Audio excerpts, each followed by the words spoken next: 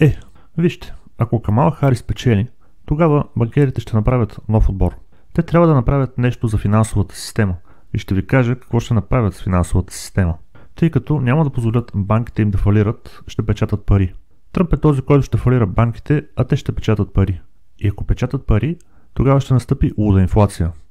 Буйната инфлация напълно ще убие американската индустрия, защото високотехнологичната индустрия не може да живее в условия на висока инфлация. Думите са на Михаил Хазин, руски економист. Ще ви оставя естествено и източниците за неговите думи в описанието и коментарите под това видео.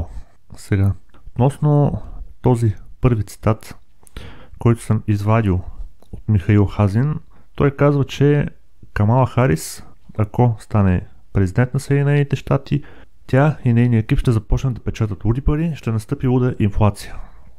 Американците печатат луди пари от, от край време.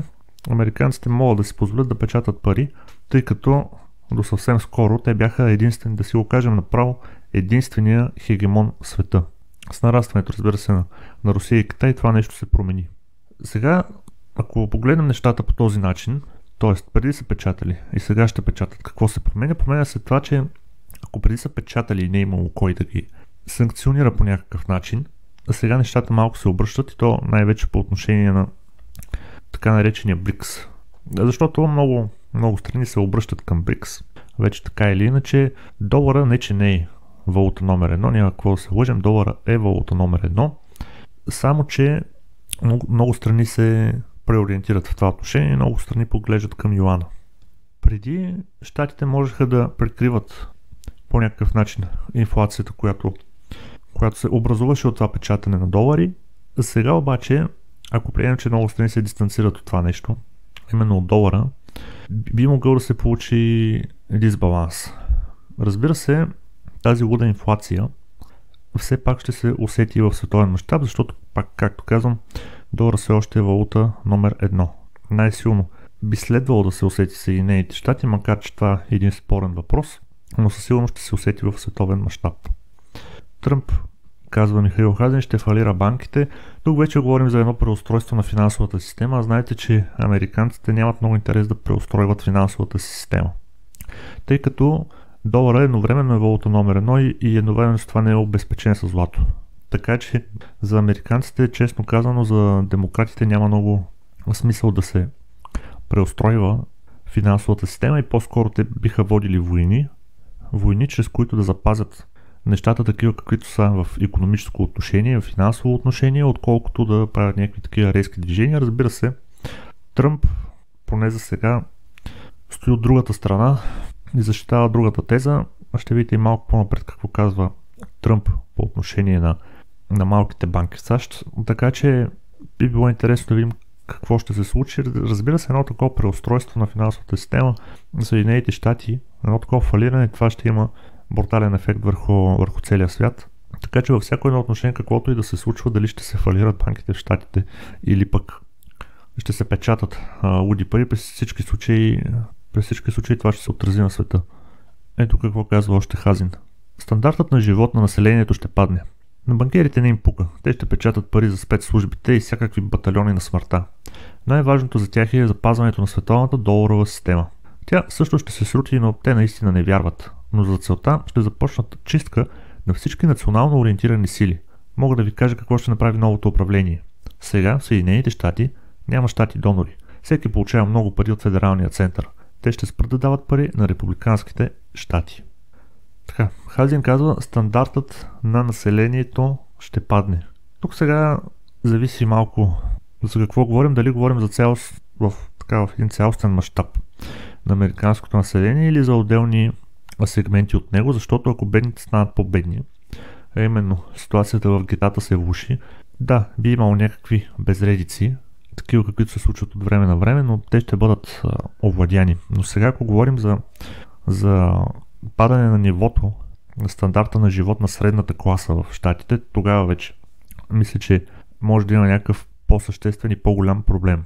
Едно такова разместване, разбира се, ще отвори много, много проблеми в Съединените щати, ако то тръгне, разбира се, от средната класа. Ще повлече крак, разбира се, за отношението в гетата и огромната бедност, ще повлече крак относно да си го кажем направо някои наркоманизирани квартали и градове, дори бих казал, Съединените щати има, както знаете, огромен проблем с, с наркотиците. Има дори изградени специални квартали, където буквално са натикани бездомните, наркоманите, зависимите, алкохолно зависими и така нататък, където те са в а, този определен квартал, спят по улиците, в гаражи, под мостове. В а, такива определени квартали дори, дори са издигнати а, блокове специално за такива хора. Но те са крайно недостатъчни и самия квартал се сещате как изглежда. Отделно ще, ще има проблема в Южните щати, знаете там има цели градове, не се говори английски, само испански, така че това със средната класа е много опасно. Ако тръгнем да ставаме свидетели на нещо подобно, не знам дали ще се стигне до гражданска война, но със сигурност ще, ще разклати Съединените щати. Иначе темата за гражданска война в Съединените щати не е нещо ново, особено след това, след това, което се случи с Тръмп. Някакси нещата така се нагнетиха доста, така че темата за гражданска война в Съединените щати някакси периодично започва все по-често да излиза на повърхността. И в допълнение на това, което казвам, Хазин отбелязва, че новото управление, ако разбира се това е управление в лицето на екипа на Камала Харис, ще започне чистка на всички национално ориентирани сили, което само по себе си означава още един аспект, където Съединените щати могат да имат сериозен проблем, може да се даде сериозен отпор и това нещо да така се превърне в един още по-голям проблем и отново да говорим за гражданска война и отново да излезе тази тема на повърхността. Както виждате има няколко аспекта, които сочат на там. Ще ви прочета и още един цитат от Хазин, след което ще приключа. Но ако администрацията на Тръмп дойде, ако дойде в Белия дом, тогава ще направи следното нещо. Ще забрани издаването на дълг и ще каже Момчета, плащайте. Нямате пари, какво трябва да направя? Така че ще обяви фалит. И цялата тази финансова система ще фалира. И Тръмп ще каже на това. Момчета, имаме малки банки, върху които Америка се изкачи през 19 век. Чрез тях ще работим, ние ще им помогнем. Но не казвам, че той ще промени законите на Федералния резерв. Това няма да стане бързо. Освен, освен това, те вече знаят, че вече са били измамени. Тук отново набляга на това, че Тръмп ще вземе абсолютно обратни мерки на това, което би взела Камала Харис. Разбира се, звучи в интерес на истината и малко пожелателно това мислене, т.е. Америка да обяви фалит и да се изкачи отново до нивото, което е в момента чрез малките банки. Доколко това е възможно, отново аз не съм абсолютно оптимистично настроен относно тази тема. Вие сами знаете за това, което се случва на Кенеди. И въобще тези резки движения могат да доведат наистина до грандиозни проблеми в, в Съединените щати, защото ако разглеждаме, че може да има гражданска война предвид фактите, които ви казах преди малко, ние можем да разглеждаме, че би могло да има гражданска война, ако Тръмп предприеме такива мерки. Защото от другата страна, разбира се, ще има крайно недоволни по високите етажи, които ще искат да, да предотвратят това да се случи.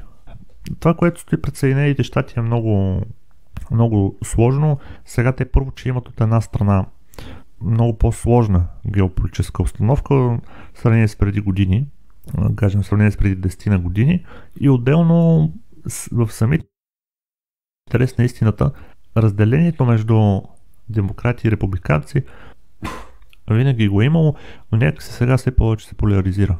Тази поляризация мисля, че ще виждаме все повече и ще дава все повече отражение както във вътрешната политика, така и в външната на Съединените щати. Разбира се, консенсус по важни въпроси, но някак си не толкова плавно, колкото преди. Преди нещата се случваха много по-последователно в американската политика, докато сега, сега има така някои разграничения. Разбира се, мога да дам това, което се случва в Украина като пример. Отношението на Съединените щати към Европа. Едно е от страна на американците, извинете, едно от страна на републиканците, едно е от страна на демократите. И за мен лично това би било наистина най-интересно как ще се отрази това нещо, ако Тръмп дойде на власт. Дали ще изпълни това, което казва, именно да работи за прекратяване на конфликта в Украина, макар че мен все повече и повече ми се вижда, че това излиза от, от контрола на, на американците и все повече и повече зависи от Русия. От друга страна, економически как би се отразило, защото тези процеси, които Хазин споменава, които са два, които са два процеса, буквално двата полюса, и, и като имаме преди, че и двата са крайни. Като процеси, как това би се отразило на Европа, която е свързана, която е свързана с Съединените щати. И економически и военно. Така че това е нещо, което ще е хубаво да наблюдаваме и разбира се, да се надяваме да не, да не стане така, че процесите в Съединените щати да се отразят най-вече на Европа и по-малко на самите Съединени щати. Благодаря ви, че ме изслушахте. Ако искате повече от Михаил Хазин, мога да ви представя, разбира се, в следващите видеа. Оставете коментари под видеото, за да мога да се ориентирам. Разбира се, ако получи по-висока гледаемост, това също би било показател, разбира се, че Хазин е желан за слушане и за представяне на неговите коментари. Ако това, което правя ви харесва, може да подкрепите канала, като се абонирате. За допълнителна подкрепа може да видите линковете в коментарите и описанието под това видео. Благодаря ви и до следващия път.